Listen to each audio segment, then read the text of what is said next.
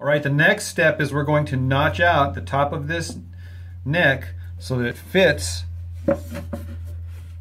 in here perfectly. So typically what I'll do is I'll measure the thickness of this top and that's how deep I will come down here and then notch it out. Okay, we're at a crucial step here. So I measured the thickness of the top of the cigar box to be 3 sixteenths of an inch thick. So what I do is I double that on the back side here. So I cut down 3 eighths of an inch here. So whatever size this is here, I double it for here. And what that does, it creates a back angle. I always keep in mind where my bridge is.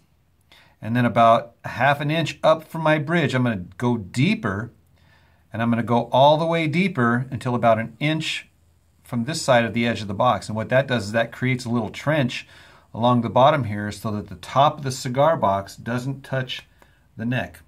And I'll show you that as I get done. Okay, we are done notching.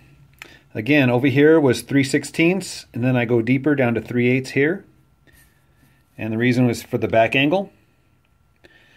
And then from where the bridge is, up about a half an inch is where I go deeper. And I go deeper all the way up to about an inch here. And that is to create a little gap in between the top of the cigar box and the neck itself.